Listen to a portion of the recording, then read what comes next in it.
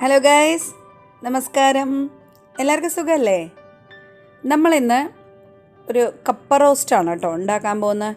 പാലക്കാട്ടുകാർ പുളക്കിഴങ്ങ് എന്ന് അതിനെ പറയുക ചിലയിടത്ത് കൊള്ളി എന്ന് പറയും. അപ്പോൾ ഇതുകൊണ്ട് നമ്മൾ ഇന്നൊരു കിഡിലൻ ഡിഷ് ഉണ്ടാക്കുകയാണ്. പെട്ടെന്ന് ഉണ്ടാക്കാവുന്ന ഒരു കപ്പ റോസ്റ്റ് അപ്പോൾ നമുക്ക് വീഡിയോ കണ്ടാലോ? അതിനു മുൻപ് ഒരു കാര്യം കൂടെ പറഞ്ഞോട്ടെ.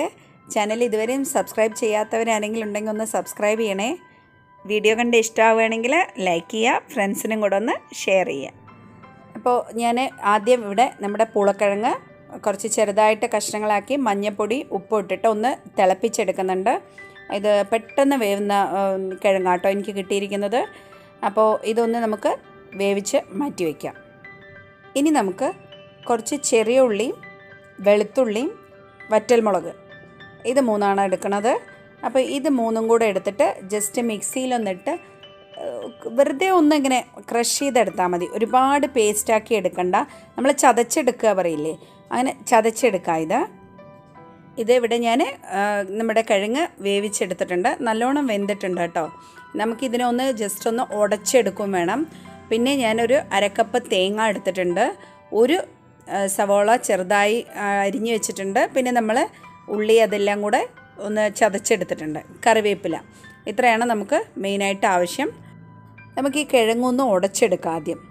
ചിലയിടത്ത് ഇതിനെ മരച്ചീനി എന്നാണ് പറയുക കേട്ടോ എന്റെ ചേച്ചിയുടെ അവിടെയൊക്കെ പറയുന്നത് ഇതിനെ മരച്ചീനി അങ്ങനെയാണ് പറയുന്നവർ അപ്പോൾ ഇത് ഇങ്ങനെ തന്നെ കഴിക്കാനും നല്ല ടേസ്റ്റാണ്. ഞാൻ നോക്കി. കാരണം വെറും ഉപ്പും മഞ്ഞപ്പൊടി ഇട്ടിട്ടാണെങ്കിലും ഈ കപ്പയ്ക്ക് നല്ല ടേസ്റ്റ് ഉണ്ട്. അപ്പോൾ ഇതിനെ ഞാൻ ജസ്റ്റ് ഒന്നിങ്ങനെ ഉടച്ചെടുക്കുന്നുണ്ട്. നമ്മൾ പണ്ടൊക്കെ സ്കൂൾ വിട്ട് വരുന്ന സമയത്തെ അമ്മ ഇങ്ങനെ കിഴങ്ങി പുഴുങ്ങി വെച്ച് അതിന്റെ കൂടെ വെല്ലം ഇട്ട കട്ടൻ കാപ്പിയാണെങ്കിൽ ബെസ്റ്റ് കോമ്പിനേഷനാണ് കേട്ടോ. എനിക്കിപ്പോൾ ഇത് കഴിക്കുന്ന സമയത്ത് കണ്ടപ്പോൾ എനിക്ക് അതാണ് ഓർമ്മ വന്നത്. ഒരു പാൻ അടുപ്പത്ത് വെച്ച് വെളിച്ചെണ്ണ ഒഴിച്ച് ചൂടായി. അപ്പം ഞാനിതിലേക്ക് കടുക് ഇട്ട് കൊടുക്കുന്നുണ്ട്. ഇനി ഇതിലേക്ക് നമുക്ക് ഇത് കടുക് പൊട്ടിക്കഴിഞ്ഞിട്ട് നമുക്ക് കുറച്ച് ജീരകം കൂടെ ഇട്ട് കൊടുക്കാം. നല്ല ജീരകമാണ് പെരിഞ്ജീരകം അല്ല കേട്ടോ. കാരണം ഈ കപ്പ ഒക്കെ പറഞ്ഞിട്ടുണ്ടെങ്കിൽ നല്ല ഗ്യാസ് ഫോം ആവാൻ ഒരുപാട് സാധ്യതയുള്ള സാധനമായതുകൊണ്ട് നമുക്കതിന് ഈ നല്ല ജീരകമാണ് ബെസ്റ്റ് നമ്മളെ പെരിഞ്ജീരകത്തിന്റെ ഫ്ലേവർ ഇഷ്ടപ്പെടുന്നവരുണ്ടാവും. പക്ഷേ കഴിയണതും ഈ ഉരുളക്കിഴങ്ങായാലും ഇങ്ങനത്തെ കിഴങ്ങുകൾ വർഗങ്ങളൊക്കെ ചെയ്യുമ്പോൾ നിങ്ങൾ നല്ല ജീരകം ഇട്ടിട്ടുണ്ടെങ്കിൽ അത് കുറച്ചുകൂടെ ഹെൽത്ത് വൈസ് നല്ലതാണ്. അപ്പം ഞാനിവിടെ നല്ല ജീരകം ഇട്ട് അത് കഴിഞ്ഞ് കുറച്ച് കറിവേപ്പില ഇട്ട് കൊടുക്കുന്നുണ്ട്. ഇനി നമ്മളിവിടെ പേസ്റ്റ് ചെയ്ത് വെച്ചിട്ടുണ്ടായിരുന്നില്ലേ? പേസ്റ്റല്ല നമ്മൾ ചതച്ച് വെച്ച ചെറിയ ഉള്ളിയും വറ്റൽ വറ്റൽമുളകും വെളുത്തുള്ളിയും കൂടെ. അത് വെളുത്തുള്ളി ഇടുന്നതും ഗ്യാസിന് നല്ല തന്നെയാണ് നല്ല ഫ്ലേവറും വരും. ഇതിന് നമുക്ക് ഒരു രണ്ട് മിനിറ്റ് നന്നായിട്ടൊന്ന് വഴറ്റിയെടുക്കാം.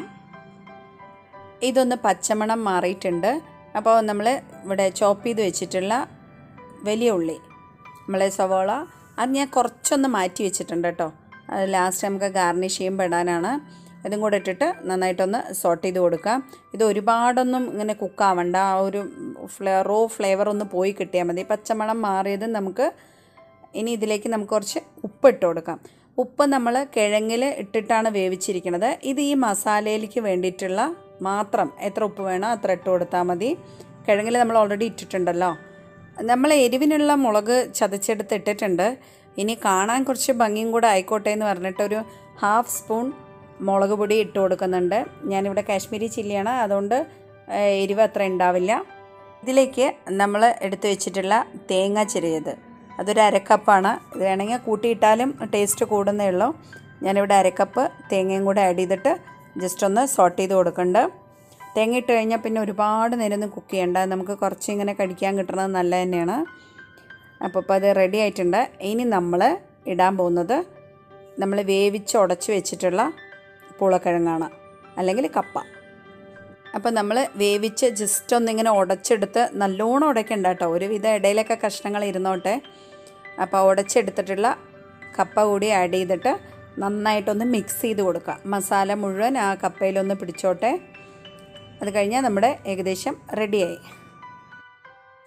ഞാനിത് നന്നായിട്ട് മിക്സ് ചെയ്ത് എടുത്തിട്ടുണ്ട് നോക്കൂ മസാലയൊക്കെ നന്നായി അതിൽ പിടിച്ചിട്ടുണ്ട്. അപ്പോൾ ഇത് നമ്മുടെ കപ്പ റോസ്റ്റ് ഇവിടെ റെഡി ആയിട്ടുണ്ട്. ഇനി നമുക്ക് ഇതൊരു സെർവിങ് ബൗളിലേക്ക് മാറ്റാം. ഞാൻ പിന്നെ കുറച്ച് മല്ലിയില കൂടെ ഇട്ട് കൊടുക്കുന്നുണ്ട്. ഇഷ്ടമുണ്ടെങ്കിൽ അത് മല്ലിയില ആഡ് ചെയ്യാം. അപ്പോൾ നമ്മുടെ കപ്പ റോസ്റ്റ് നോക്കൂ. നല്ല സ്റ്റൈലായിട്ട് റെഡി ആയി വന്നിട്ടുണ്ട്. ഞാൻ കുറച്ച് ഉള്ളി അരിഞ്ഞ് വെച്ചത് മാറ്റി വെച്ചിട്ടുണ്ടായിരുന്നില്ല. അതും ഇട്ട് കുറച്ച് നാളികേരം ചെരുകിയതും ഇട്ട് ഒരു മല്ലിയിലയും വെച്ചു. റെഡി ഇതിന്റെ കൂടെ ഇനിയിപ്പോൾ മീൻകറി കൂട്ടി കഴിക്കണമെങ്കിൽ കഴിക്കാം. മീനോ ചിക്കനൊക്കെ കൂട്ടി കഴിക്കാം. പക്ഷേ ഇത് തന്നെ വെറും കപ്പ റോസ്റ്റ് നല്ല കട്ടൻ കാപ്പി ഉണ്ടെങ്കിൽ ബെസ്റ്റ് കോമ്പിനേഷനാണ് വേറെ ഒന്നും ആവശ്യമില്ല. ഒരു കറി ആവശ്യമില്ല. നല്ല ആവശ്യത്തിന് എരിവും എല്ലാം ഉണ്ട്. അപ്പോൾ എല്ലാവരും ഒന്ന് ട്രൈ ചെയ്ത് നോക്കുക. എന്നിട്ട് അഭിപ്രായം കമന്റിലൂടെ അറിയിക്കുക. എന്നും പറയും പോലെ സബ്സ്ക്രൈബ് ചെയ്യാത്തവർ സബ്സ്ക്രൈബ് ചെയ്യുക ലൈക്ക് ചെയ്യുക ഷെയർ ചെയ്യുക. താങ്ക്